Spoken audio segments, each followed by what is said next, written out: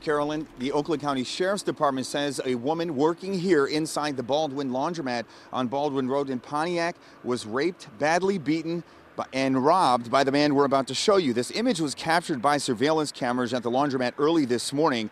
Take a good look. Deputies say he's a black male in his early 20s, about six feet tall, very thin, and seen wearing dark shoes, blue jeans, a reddish orange shirt, brown leather jacket, and a dark knit hat with orange and white stripes. Now, we're told the victim is a 35 year old female who allowed this person inside the laundromat, but then asked him to leave if he didn't have clothes to wash. That's when police say he forced the victim into a back room, robbed her, and then sexually assaulted her. If you have any information on the whereabouts of this man, you are asked to call the Oakland County Sheriff's Department. If you would like to remain anonymous, you can always call Crime Stoppers at 1 800 Speak Up. Again, that number is 1 800 Speak Up. Live in Pontiac, Gino Vici, 7 Action News. Back to you. All right, Gino, thank you for the live report. Tough one there.